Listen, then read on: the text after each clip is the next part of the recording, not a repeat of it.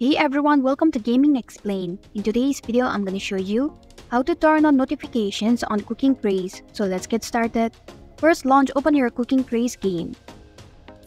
Once you're on the game, tap on the gear icon which is at the bottom right corner of your screen. Now tap on notifications option.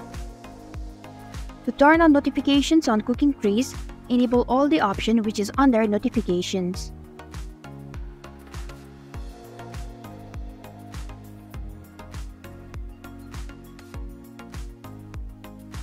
And this is how you can turn on notifications on Cooking Craze. Thanks for watching Gaming Explained. If you like this video, hit the like button and drop a comment with any questions or feedback. If you are new, subscribe and click the bell icon to stay updated on the future videos.